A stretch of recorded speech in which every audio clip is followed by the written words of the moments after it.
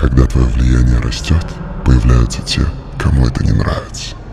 Я знал, что рано или поздно меня накроют, поэтому спрятал деньги по всему миру.